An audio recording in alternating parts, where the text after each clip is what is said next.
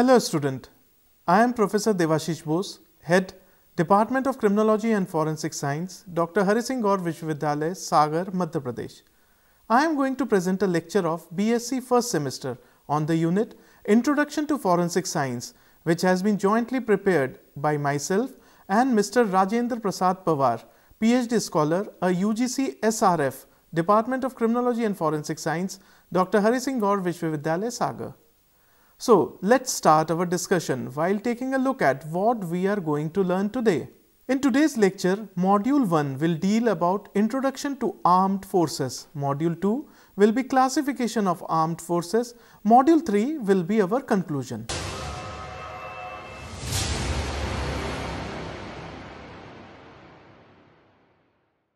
The Indian Armed Forces are the military forces of the Republic of India it consists of three professional uniformed services the Indian Army, the Indian Navy, and the Indian Air Force. Additionally, the Indian Armed Forces are supported by Indian Coast Guards and paramilitary organizations like Assam Rifles and Special Frontier Forces, and various inter service commands and institutions such as the Strategic Forces Command, the Andaman and Nicobar Command, and the Integrated Defense Staff. The President of India is the Supreme Commander of the Indian Armed Forces. The Indian Armed Forces are under the management of the Ministry of Defense of Government of India. With a strength of about 1.4 million active personnel, it is world's third largest military force and has the world's largest volunteer army. It is important to note that the Central Armed Police Forces which are commonly and incorrectly referred to as paramilitary forces, are headed by officers from the Indian Police Service and are under the control of Ministry of Home Affairs and not the Ministry of Defence. The Indian armed forces have been engaged in a number of major military operations which includes the Indo-Pakistan Wars of 1947, 1965 and 1971 the Portuguese Indian War, the Sino Indian War, the 1987 Sino Indian skirmish, the Kargil War, and the Siachen conflict, among others. The Department of Defense Production of the Ministry of Defense is responsible for the indigenous production of equipments used by the Indian Armed Forces. India was the largest importer of defense equipment in the year 2014, with Russia, Israel, France, and the United States being the top foreign suppliers of our military equipment. The government of India has launched Make in India initiative to indigenize manufacturing and reduce dependence on import, including defense imports and procurement. The headquarters of the Indian Armed Forces is located at New Delhi, the capital of India. The President of India serves as the formal Supreme Commander of the Indian Armed Forces, while the actual control lies with the executive headed by Prime Minister of India. The Ministry of Defense is the ministry charged with the responsibility of counterinsurgency and ensuring external security of India. The armed forces have four major tasks. The tasks are to assert the territorial integrity of our country, to defend the country if attacked by a foreign nation, to support the civil community in case of disaster, example flooding or any natural calamities, to participate in United Nations peacekeeping operations in consonance with India's commitment to the United Nations Charter.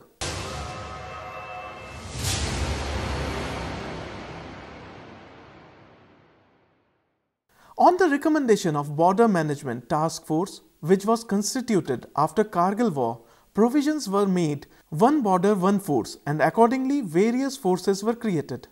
All these uh, central armed police forces agencies function under the aegis of Ministry of Home Affairs MHA of the Government of India. The Central Armed Police Forces CAPF or commonly referred as Kendriya Sashastra Police Bal refers to uniform nomenclature of security forces in India under the authority of Ministry of Home Affairs. They are the Border Security Forces BSF, Central Reserve Police Force CRPF, Central Industrial Security Force CISF, Indo-Tibetan Border Police ITBP and Sashastra Seema Bal SSB. The brief information about these central armed police forces are as follows. Border Security Force Established on 1st day of December 1965, it is one of the central armed police forces. Its primary job is to guard India's international borders during peacetime and also prevent trans-border crime. Like all Central Armed Police Forces of India, the BSF is also under the administrative control of the Ministry of Home Affairs. It is one of the many law enforcement agencies of India. Shri K.F. Rustamji, a known figure in the Indian police, was the first chief and founding father of BSF.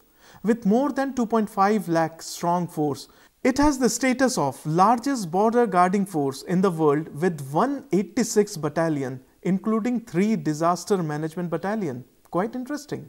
These units are aptly supported by robust training institutions and elaborated medical setup, an artillery regiment, air and water wings, camel contingent and dog squad to come true to the current responsibility of safeguarding international border with Pakistan and Bangladesh.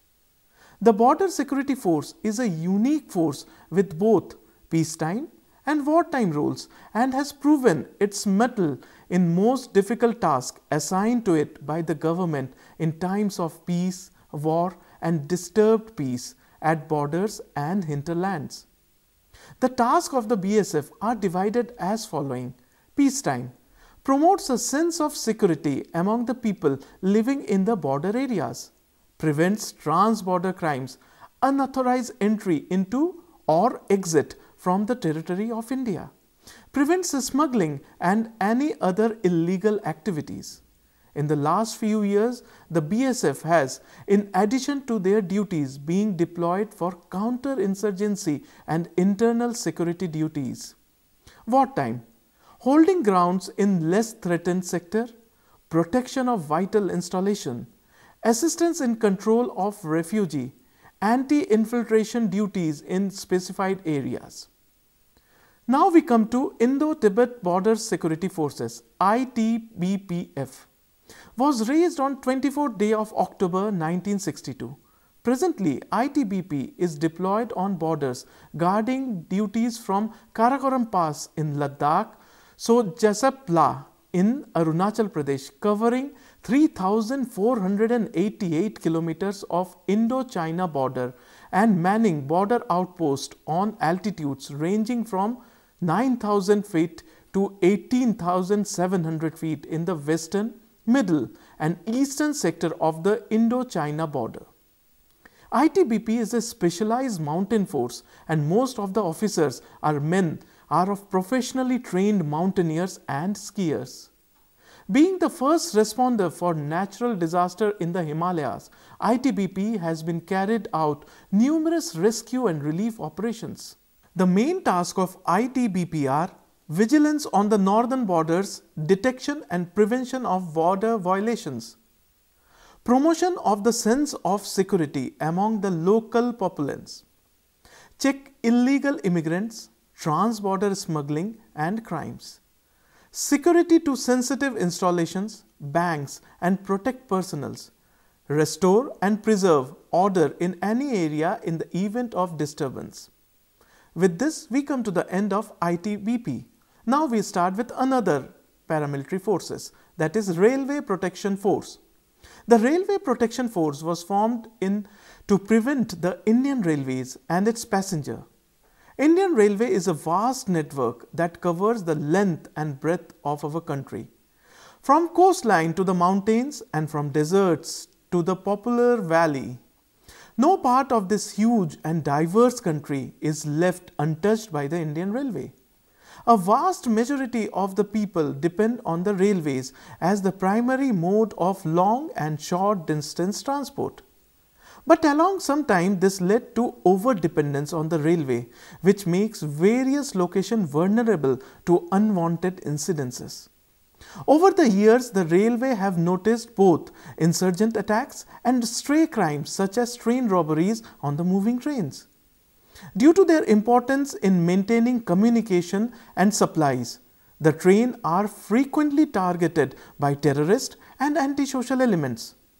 At the same time, during long stretches through barren location, the passengers become easy targets for criminals.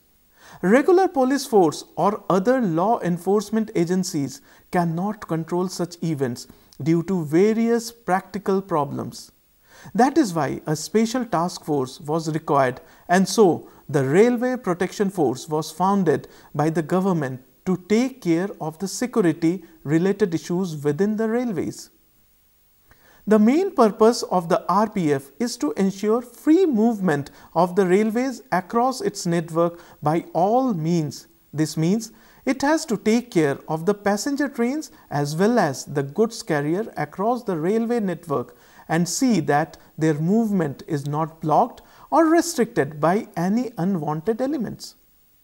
Various miscreants may try to damage the railway tracks to derail the trains or on many occasions political protesters block the tracks to block the trains as a mean of drawing attention to their demands. RPF is expected to handle such situation and make sure that the trains move freely and on schedule. The second intention of setting up of the Railway Protection Force was to ensure protection of railway properties. Another main task of RPF is the passenger safety. The RPF is one of the central armed police forces of India. The top brass of the force is drawn from the elite Indian police services. The head of the police force is Director General and there are divisional security commissioners for different divisions of the Indian Railways. While the area of its function is limited, it plays a major role in making train travel safer for millions of passengers every year. With this, we come to the end of Railway Protection Force. Now we move on to another interesting force that is Central Reserve Police Force which you have seen everywhere. The Central Reserve Police Force came into existence as Crown Representative Police on 27th day of July 1939 that is pre-independence era. It became the Central Reserve Police Force on enactment of the CRPF Act on 28 December 1949. It is the largest unit of the Central Armed Police Forces with around 3,25,000 personnel in 245 battalions. The Central Reserve Police includes the Rapid Action Force RAF, a 10 battalion anti-riot force trained to respond to sectarian violence. You might have seen them in blue combat uniforms. The Commando Battalion for Resolute Action or commonly known as COBRA a 10 battalion strong anti-Naxalite coin force. You might have seen them in Naxalite area.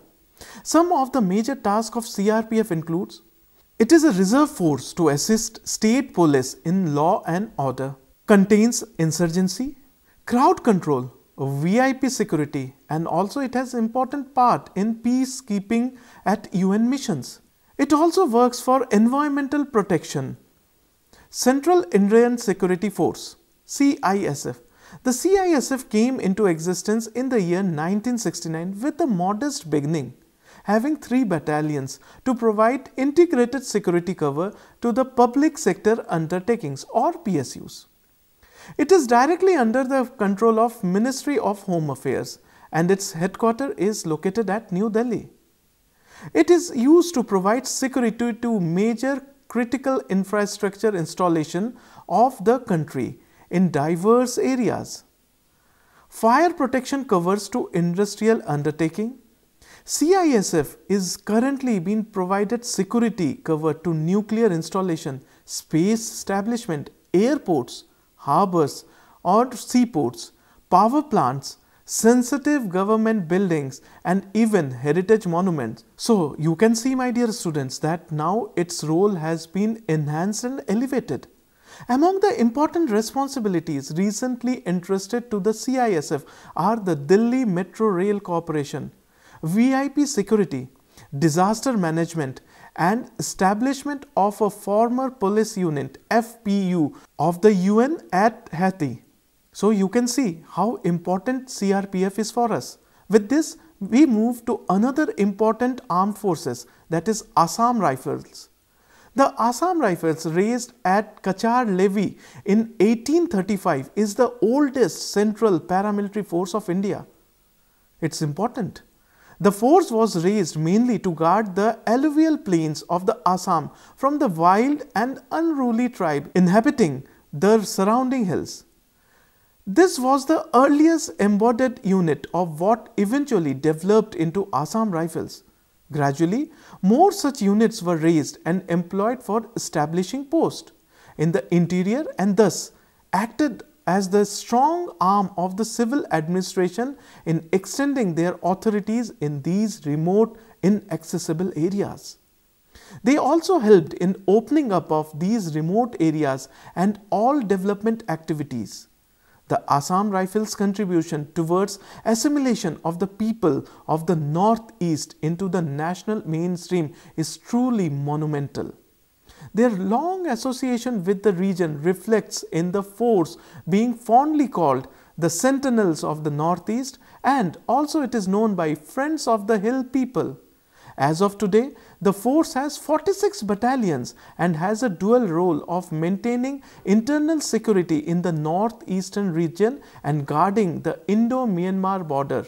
Variously designated and recognized from the time to time as the Assam Frontier Police in the year 1883 to the Assam Military Police in the year 1891 and Eastern Bengal and Assam Military Police in the year 1913 it came to be known by its present name of the Assam Rifles in the year 1917 and it continues till date. In recognition of its contribution to the war effort during World War I, during its long history, the Assam Rifles has earned many laurels both in aid to the civil administration as also fighting alongside with the army. The force has been officered by army officers since 1884 and is today on a per capita basis perhaps the highest decorated security force in our country. The active task of the Assam Rifles are during peace and proxy war ensure security of the Indochina and Indo-Myanmar borders. Also engaged in internal security of northeastern states conduct counter-insurgency operations in the northeastern and other areas where deemed necessary. It also works under the control of the army, acts as penultimate interventionist force of the central government in internal security situation under the control of army when the situation goes beyond the control of central paramilitary operations. Now we take a look at the organizations of Assam Rifle. Headquarter DGAR. The force is commanded by an officer of the rank of Lieutenant General of the Indian Army. The highest headquarter of the forces known as the Headquarter Directorate General of Assam Rifles is located at Shillong.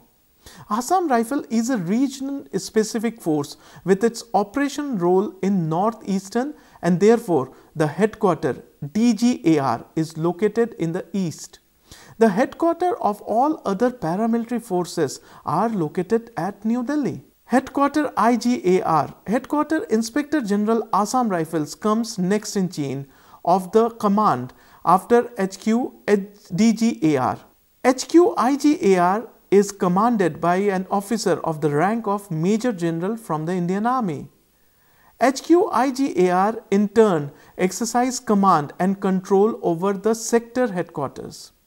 Sector headquarters. The sector headquarters are commanded by army officers of the rank of brigadier drawn from the Indian Army.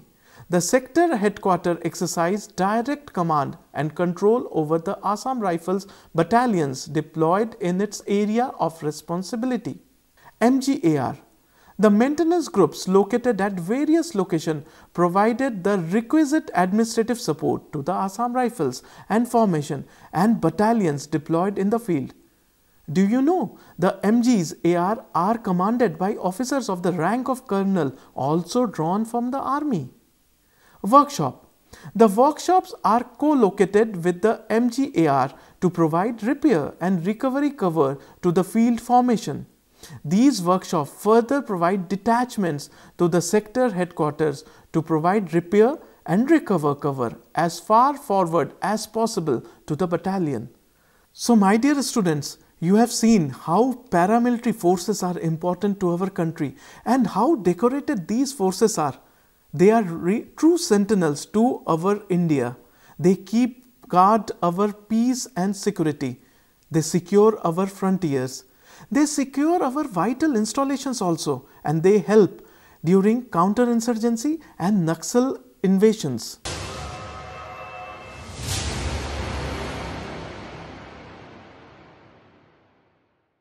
Security of any nation and its livelihood from external and internal threat is a major challenge. Indian armed forces which consist of defense forces, paramilitary forces and strategic forces command plays major role ensuring our national security. India is the seventh largest country according to its area and second most populated country of the world. There are huge, varied national security challenges at India's doorstep. Some of these challenges have confronted India for pre and post independence. Some has evolved over decades to now peak into criticalness, that is, the terrorism, Naxalite menace, and the China Pakistan two front threats, where for the first time both of Indian neighbors have joined hands in Pakistan occupied Kashmir. Indian paramilitary forces and Central Armed Forces, therefore, are now the pivot and lodestar of India counter to its enormous national security challenges. The PMF and CAPF today occupy Indian national security landscape. It has to become a viable national security instrument to enable its armed forces to provide deterrence to the rising China increasing coherent military with Pakistan. With all these information here, we come to the end of today's informative lecture on Indian security forces. Do keep in mind what we have discussed today. It's time for you all to do some self-study. This is Professor Devashish Bose signing off for today. If you want to learn more and enhance your knowledge, you may log on to our website for MCQs, quizzes, LORs at www.cec.nic.in. Till then, goodbye and thank you for paying attention.